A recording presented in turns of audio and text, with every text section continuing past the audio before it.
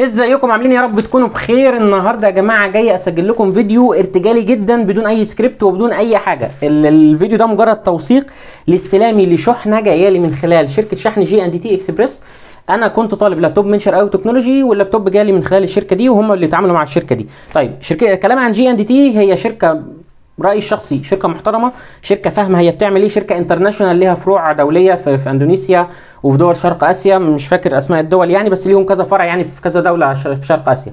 ناس ملتزمة بمواعيدها ناس منظمة ناس عارفين إيه الحاجات ال fragile من الحاجات ال non fragile الحاجات اللي قابله للكسر الحاجات اللي غير قابله للكسر ناس فاهمين شغلهم صح. طيب أنا ده مش فيديو إعلاني عن جي ان دي تي ولا إعلاني أصلا عن شرقاوي تكنولوجي أنا بس بوثق معاكم آه، استلامي للشحنة. طبعا أنا فتحت الشحنة طبعا عشان أبص فيها وأنا مع المندوب. وجاي اصور لكم بقى على الهداوة. طبعا هو ده شكل الكيس بتاع الشركة بس ال- الحاجة الأميز بقى إن الشرقاوي تكنولوجي مش بيسيب الشركات الشحن تغلف له حاجته. هو بيغلف حاجته مع كراتينه الخاصة بيه اللي بيغلف بيها. آه، طبعا شرقاوي تكنولوجي فرعه في بني سويف آه، بس آه، ملوش فروع تاني في مصر. هو بيوصل من خلال مناديبه أو من خلال شركات شحن. لو أنت زي حالاتي كده في محافظات آه، بعيدة أو محافظات الصعيد أو كده البحر الأحمر الوادي الجديد أسوان الحتت دي كلها بيوصل من خلال شركة الشحن. لو أنت من محافظات وجه بحري أو محافظات القاهرة الكبرى التوصيل عندهم موجود برضو بس من خلال مناديبهم الخاصة. بيسلمك اللابتوب على الاستلام وبيكون الدفع عند الاستلام مع دفع جدية حجز. شركات الشحن بتحول الفلوس كاملة الأول على انستا باي أو حوالة بنكية أو أي محفظة إلكترونية وبيجي لك اللاب اللاب طبعا الناس هتقلق تقول لي ده إزاي هشتري حاجات أونلاين وهدفع ثمنها مقدما؟ بصوا يا جماعة آه، أنا مش بعمل إعلان شرقاوي تكنولوجي خالص بس هو الفكرة آه، شرقاوي تكنولوجي عشرة عمر ومن قبل ما أتعامل معاه كعميل بيع وشراء آه، لا أنا كان ليا معرفة شخصية بيه من قبل كده وتعاملات كتير يعني. فالمكان موثوق جدا وأنا عن نفسي اللاب ده أصلا مش ليا. اللاب ده لحد تبعي هو تم تحويل الفلوس كاملة. قبل ما الجهاز أصلا يتشحن تمام؟ الجهاز اتحولت فلوسه وثمنه كاملا وبعد كده الجهاز اتشحن. هم طبعا عشان يطمنوك بيتصور لك اللاب من كل الزوايا بكل حالاته وهتستلم اللاب نفس الصور اللي اتبعتت لك بالظبط. دي النقطة الأولانية، النقطة الثانية إن اللابتوب اللي هتستلمه من شرقاوي تكنولوجي أنت عليه ضمان، هتقول لي أنا لو أنت تعرف شرقاوي تكنولوجي هتقول لي دي أجهزة لابات استيراد، ده معظم سوق الاستيراد مليان نصب أو ما فيهوش ضمانات، عايز أقول لك إن شرقاوي تكنولوجي أسهل وأسرع استجابة والين و- وامرا يعني في مرونة قوية جدا في سياسة الضمان بتاعتهم. يعني عايز أقول لك في ناس بتشتغل في مجال الاستيراد ده ما بيدوش أصلا ضمان ولا بيعترفوا إن في حاجة اسمها ضمان على حاجات مستعملة. أنت ليك تجربة جربت الجهاز شغال تاخده وتمشي وتسكت.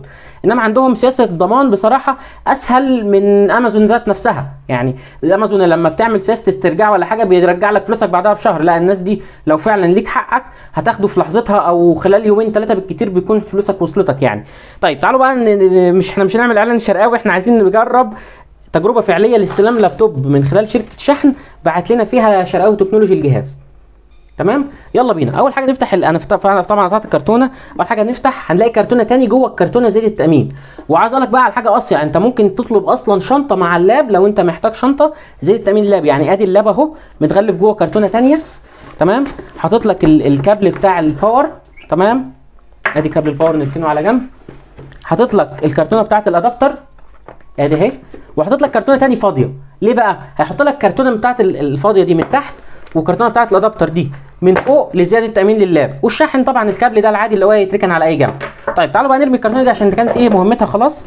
ودي أكتر حاجة عجباني في شرقاوي تكنولوجي إن هو بيستخدم كراتينه الخاصة للتغليف ودي حاجة زي التامين يعني ما بيأمن حتى لو شركة محترمة برضه أنا هأمن حاجتي بنفسي. طيب أدي أول حاجة أهو. أدي اللابتوب وأدي الكرتونة اللي فيها ال adapter وأدي الكرتونة الفاضية الثانية برضه مش عايزينها نرميها. تمام؟ ندخل بقى على ال adapter. طبعا ال adapter ال- المفروض ال original ده وحاطين عليه ال label بتاعهم بتاريخ اللي اتطلب فيه ال order. 1 6 2024 ومحطوط ال label علشان محدش يلعب في ال adapter. علشان لو ليك حق أو ضمان تعرف تسترد, ضمانك بكل سهولة. محدش يتكلم معاك ولا حد يقول لك حاجة. طالما الليبلات دي موجودة انت في أمان. طيب وادي ال- الكيس بتاع ال adapter برده ملوش لازمة ونرمي الكرتونة بتاعت ال adapter. وادي الكابل ال original ادي الكابل اهو. طبعا الكابل مرن ولذيذ الاستيك حاجة لذيذة يعني. مش هنقول ال original بتاع اللابتوب يعني بس حاجة نظيفة شغل نظيف يعني.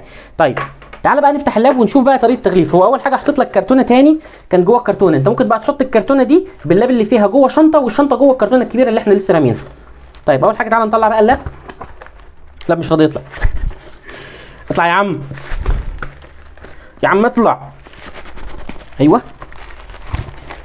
محرزين على الحاجة وحاطين جوه كيس برضه عشان ما يجرحش جوه الكرتونة فدي حاجة صايعة برضه يعني. طيب إحنا مضطرين بقى نقطع البلاستر. آسفين جدا.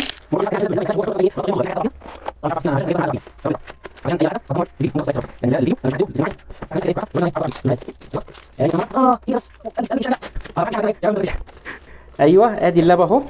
مغلفينه ببلاستر تاني من جوه زيادة تأمين للاب. طيب إيه يا عم شرقاوي؟ كل الحاجات دي يا عم شرقاوي.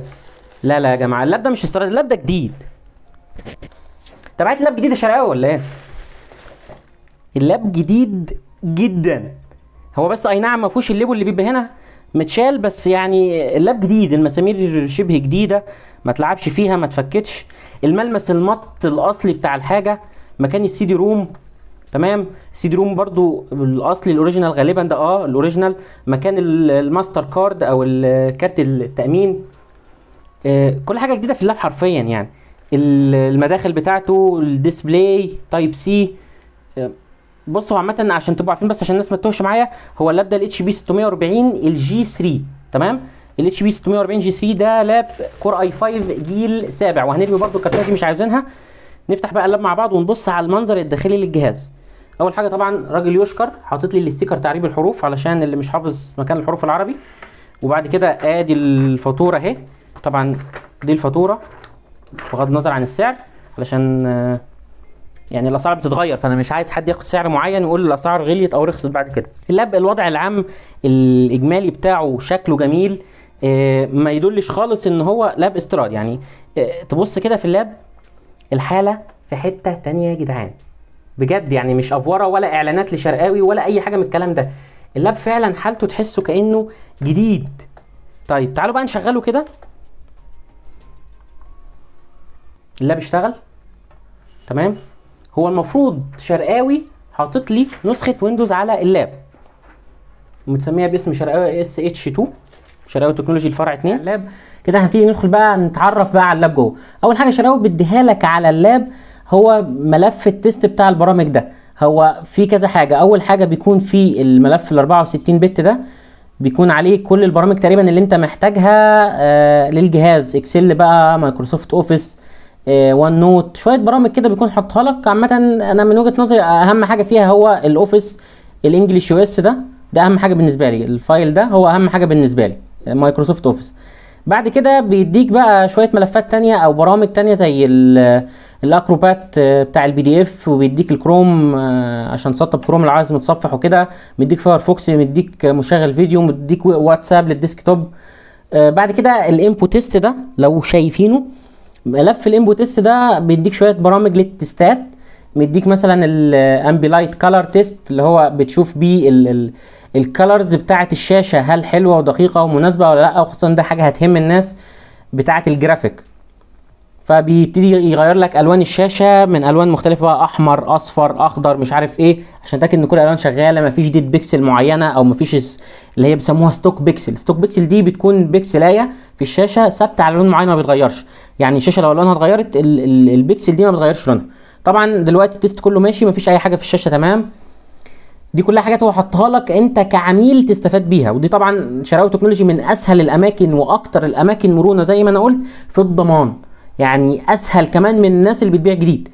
آه ملف اسمه 5 ده بصراحة مش عارف بتاع إيه. app package installer تقريبا تعريفات. تقريبا خاص بالتعريفات بس إحنا مش هنحتاج لحاجه ليها علاقة بالتعريفات. طبعا حاطط لك ويندوز ريدر طبعا عشان تفك ضغط الملفات بتاعتك. آه كل الحاجات دي تمام. تعال نشوف كده برضو حاجة في ال input test هنا. مش بس حاطط لك مثلا ملفات ال test بتاعت Ambilight حاطط لك كمان آه، للحاجات لل sound حاجات يعني مثلا stereo left and right stereo sound. دلوقتي أنا هجرب الصوت بتاع السماعات الأصلي.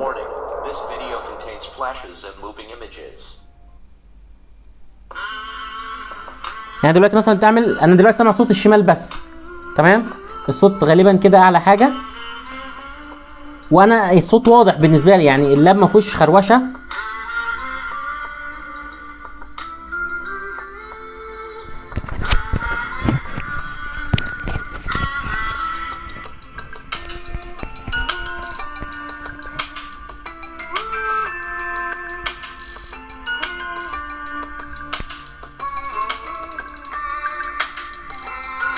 الصوت واضح. يعني سيبك من من علو الصوت لأن كده كده اللابتوب مش بيديك صوت عالي قوي زي مثلا آه، اجهزه مثلا السماعة بتاعت الكمبيوتر أو كده. ولكن اللي يهمني نقاء الصوت. دي أهم حاجة. شوف مثلا السماعتين شغالين مع بعض. صوتهم معقول. لو أنا قاعد في أوضة بتفرج على فيلم مع اتنين تلاتة تاني معايا هبقى سامع الصوت عادي. لو حط اللاب في آخر ال- ال- المكان حتى هيشتغل. حاطط لك برضو ال test بتاع ال eCap أو ال- اللي هي ال test بتاع الكاميرا. طبعا مش هفتحه عشان مش عايز حد يشوفني دلوقتي. آه، ال FurMark ده علشان test كارت الشاشة يعمل لك تيستات على كارت الشاشة. في بعدين بعد كده عندنا ال- ال- ال keyboard keys checker ده بقى إحنا بندوس شوية على زراير وبشوف شغالين معايا ولا لأ. كل حاجة شغالة. اللي لونه اخضر ده كده أنا دوست عليه بالفعل وموجود. ال functions كلها شغالة. طبعا كل حاجة موجودة في الجهاز شغالة. طبعا الزرار التانية اللي فاضيه دي عشان ده لابتوب 14 بوصة ما فيهوش ال number pad اللي هي الجانبية أو الاله الحاسبة الجانبية. دي شوية حاجات ليها خاصة بال keyboard بتاعة الكمبيوتر أو اللي هي ال- ال keyboard المنفصل. آه، من وجهة نظري يعني آه، الراجل ما عدهوش العيب يعني في أي حاجة. هنبتدي بقى ندخل بقى على التستات التقيلة. هعمل لها برضو فيديو مخصص لوحدها. إن أنا أبتدي أعمل test على البطارية وأعمل test على المداخل والمخارج والكلام ده بس ده نظرة مبدئية. كان أهم حاجة بالنسبة لي أوثق عملية استلام الشحنة وأشوف قد إيه الحاجة متأمنة. الحاجة متأمنة جدا. آه الناس دي بتضمن لك حقك وبتديك ضمان شهر استبدال. آه يا جماعة بجد ده مش إعلان ده مجرد استلام لابتوب عادي مشتريه لحد حبيبي. كان سألني عليه وطلبه مني تمام؟ آه بس كده دي كل الموضوع وشكرا جدا ليكم. وبكده نكون وصلنا لنهاية الفيديو النهارده. أتمنى لو استفدت من الشرح تدعمنا ب like وما تنساش الاشتراك في القناة وتفعيل زر الجرس علشان يوصلك كل جديد من حلول تقنيه وريفيوهات أول بأول.